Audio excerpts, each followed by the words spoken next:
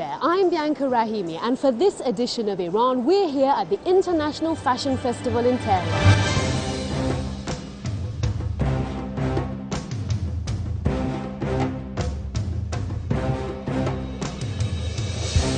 We're going to start with Pedram. He's going to be taking us to see some of the houses and gardens that have made Yazd famous. Some are luxurious, others are modest, but each one is a work of art.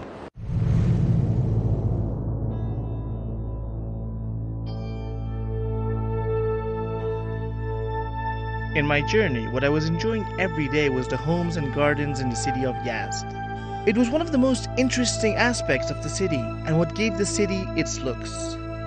This is one of the simplest homes in the city of Yazd. A central courtyard and a pond in the middle, and four rooms on all sides. But this, as I said, is one of the simplest. So stay with me as I take a look at the posh homes in the city of Yazd.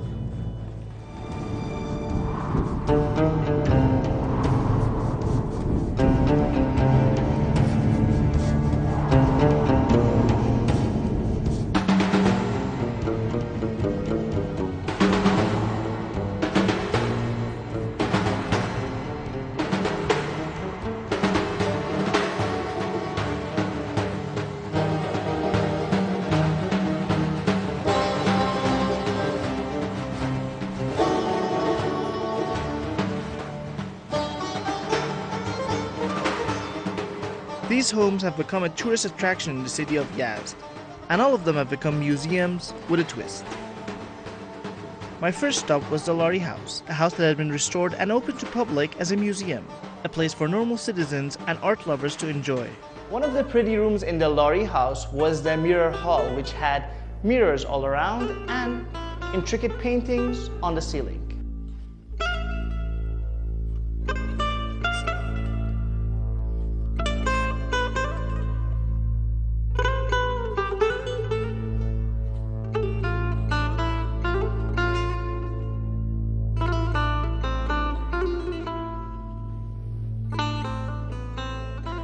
I'm going to go and see the most famous house in Yazd.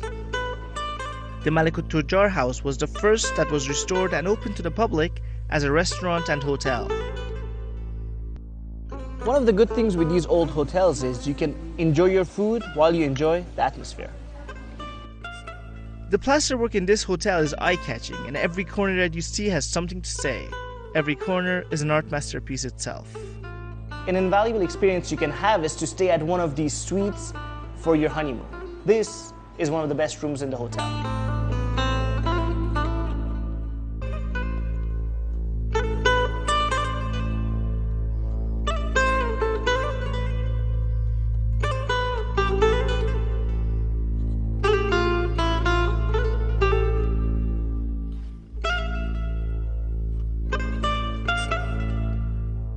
Walking in the alleys gave me a feeling that I was walking in the past. The arcs so beautiful yet simple. I was wondering, what was the material used in all these clay walls that gave it the rich historic look and at the same time made life possible in these homes? I asked my friend Hassan about the mixture and the reason behind it. Many walls, the outer parts of the building, are covered with uh, which is a mixture of mud and straw. Uh, it used to uh, act as a kind of uh, ins ins insulation, as we see. This mixture creates the facade of the beautiful buildings in the desert. This simple mixture holds the sun's heat in itself from the day in winters and gives it away during nights, making the rooms hot. And in summers, it gives away the coolness synced in it at nights during the day. On the second day of my trip, I went to a place for a cup of tea. This place surprised me as it was so stunning.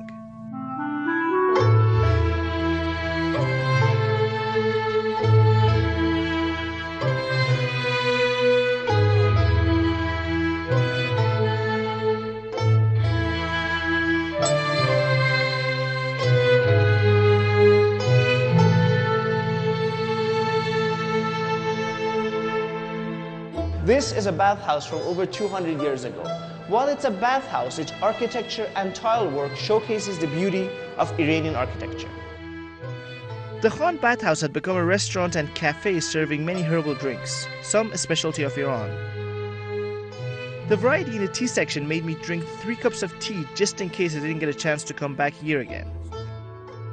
The bathhouse looked like anything but a place to bathe. I don't know how they could make this place dirty, it just looked so fine. Another bathhouse worth a visit is the Abul Maali one. Its traditional look and beds make it a place worth a visit. The artistry of Iranian architects is visible in these places, which were bathhouses and now have become like museums.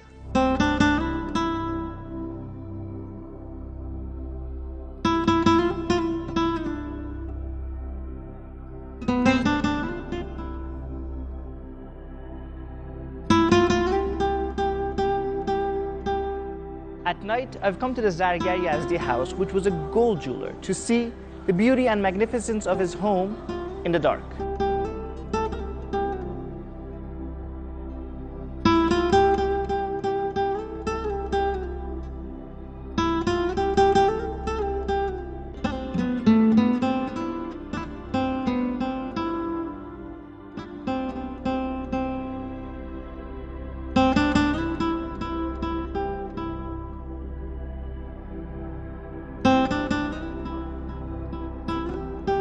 I experienced living in history in one of these homes. So can you.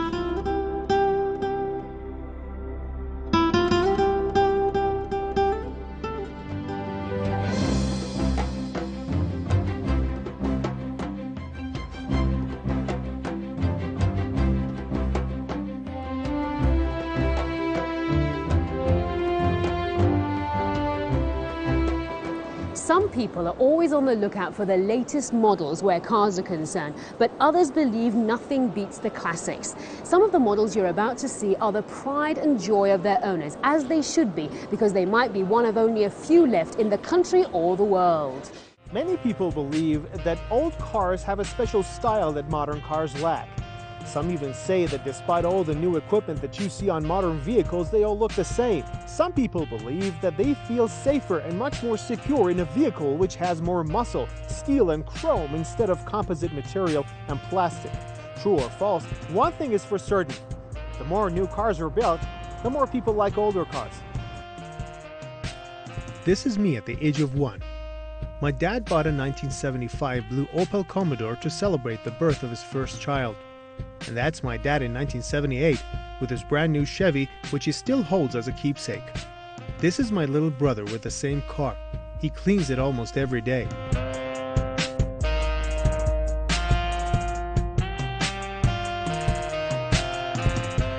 Many believe that these old beauties come from an age when the taste of life was much sweeter than what it is today. In fact, they bring back the memories of the good old days. Today, unfortunately, most of these vehicles are history. In Iran, there are only a few places where they revive these cars so that their hearts would start beating once again. An old garage in Karaj city near the capital Tehran is a hangout for those who resist against the rapid technological evolution in the automotive industry. طرح موتورش فرق میکنه کارکرد موتورش فرق میکنه استهلاک موتورش کمتره. الان نسل جدیدم پی بردن به این مسئله. که الان ماشین های قدیمی رو دوست دارن درست می‌کنن بازسازی می‌کنن رنگ می‌کنن موتور تعمیر می‌کنن. ماشین به شکل اولش به صورت اولیه در میاد.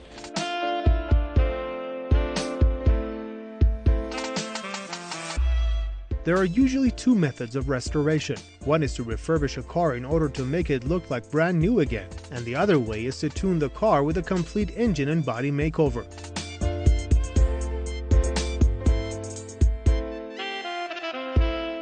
ماشین درک اولین چیزی که هستش معمولا از اتاقای سبکتر استفاده میشه با شاسی های یه تیکه و قوی با موتورهای بیگ بلوک با گیربکس های یه دنده یا دو دنده که اصلا ماشین به در شهر یعنی دیگه نمیخوره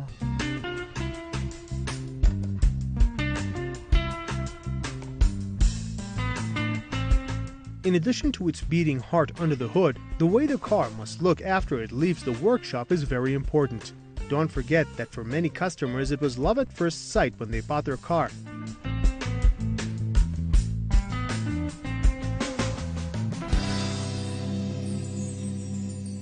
خب معمولا افرادی که از این ماشین ها می‌خوان ماشین کلاسیک می‌خوان جمع کنن بازسازی کنن با اون هزینه های زیادی که هست معمولا رنگ با کیفیت خیلی بالاتر پیشنهاد میدن. اون رنگ پاچیدنش یا به قول معروف انجام دادن کارش خیلی مشکله که بشه کیفیت کار رو حفظ کرد.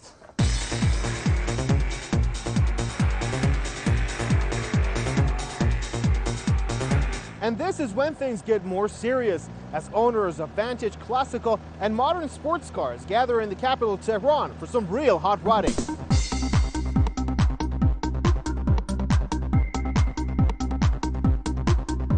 Many of these cars are too wild and too noisy to be driven in streets. That's why they're brought in with a carrier.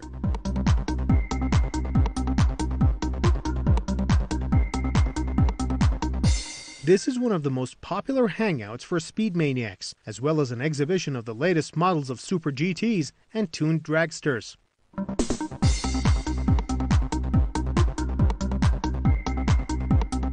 The competitors have to hit the runway two by two. The one who crosses the finish line just 400 meters away will be the winner.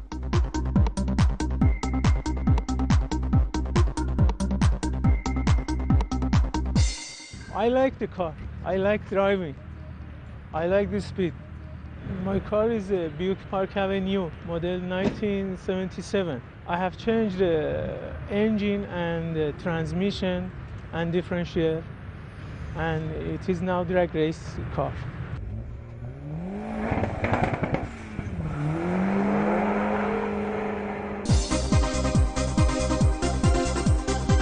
In this ragged atmosphere, one can still find that old feeling about cars, which I earlier told you about.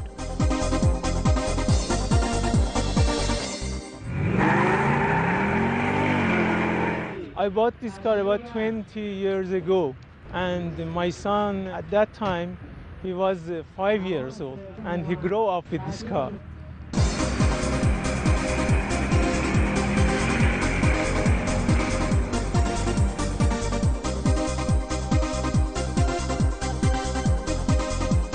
Today, cars are a part of our lives, just like a good horse back in the old days.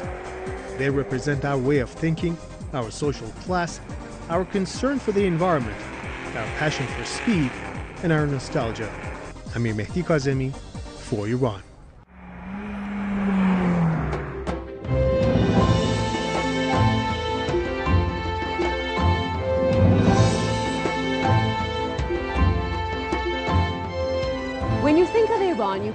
Being reminded of the Persian carpet. It's what Persia is most famous for. Carpets are woven all over Iran, but each city has its characteristic patterns, and Tabriz is one such city. Isfahan, Kerman, Kashan, and Qom all have one thing in common carpets. But I've heard that some of the best and finest carpets in Iran are made here in the city of Tabriz. Let's go check them out. Muzaffariye Hall in the Bazaar of Tabriz is the center for the best Tabriz carpets, always bustling with buyers bargaining for a lower price. The bazaar itself is the largest covered bazaar in the world and is inscribed as a UNESCO World Heritage Site. Definitely the rightful place to hunt for these precious handmade masterpieces. فرش تبریز که در دنیا مطرح شده به خاطر طراحایی که در تبریز هست و به خاطر رنگ بیش از حد در یه فرش به کار میره But it is actually the high number of knots per square inch which makes all the difference. The traditional scale for measuring that is Raj, or the number of vertical line of knots in every 7 centimeters. If you ever come here, look for the 50 Raj ones, with a combination of nearly 150 different colors.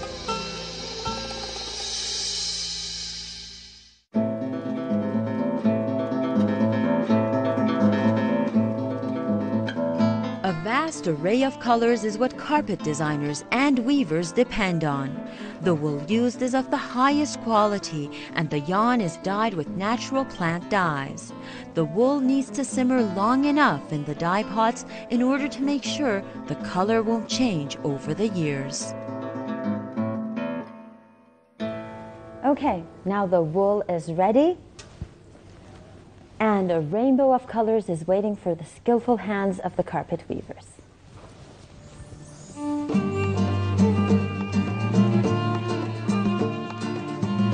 Batches of yarn representing all the colors on the cartoon are hanging within easy reach. Master craftsmen tie each knot as they refer to the cartoons to pick the right color. At times, they create even a more exclusive impression by adding silk. Strands are so closely wrapped that they have to use a hook. ما کارمون رو در واقع تقاطع هنر و اقتصاد میبینیم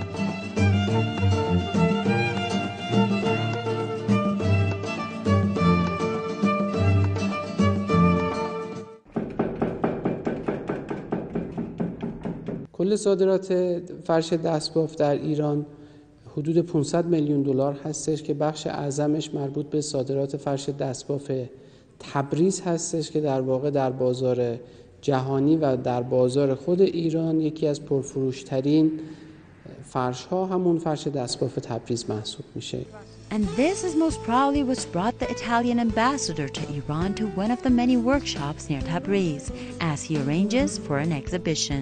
Uh, it will be an exhibition which uh, um, uh, will be a wonderful uh, occasion for the Italian people and amateurs and also um, uh, the followers of the, of the carpet industry, you know, to touch with their hands, you know, the beauty and the artistic profile, you know, of this industry of yours.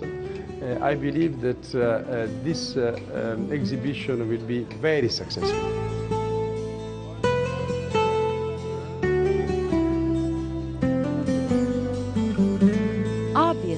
Aficionado himself, the ambassador tried to tie one knot on his own. Okay, I did it. Finally, eventually. Durable and strong, Tabriz carpets are meant to adorn homes for at least a hundred years. The 500-year-old Ardabil carpet, now in the Victoria and Albert Museum in London, is a great example of that. طرها به نام طراحان فرش معروف هستند. Himself a skillful designer, Akbar Sari Khan explained that it's not just the classical medallion or tree designs, but the brilliant rich tones and soft pastels that sets them apart from other Persian rugs.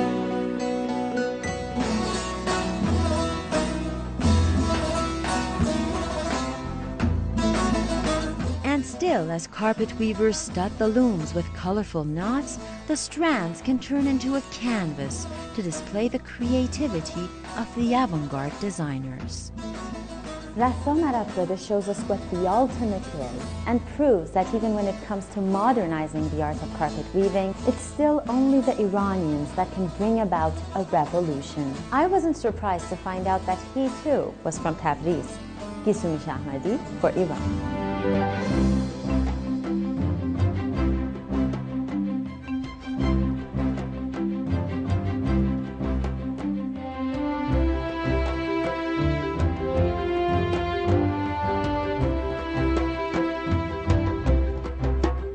Well, that's all we have time for today. But don't forget to check out our website, ifilm.com, and email us at iran at ifilmtv.com. Thanks for watching.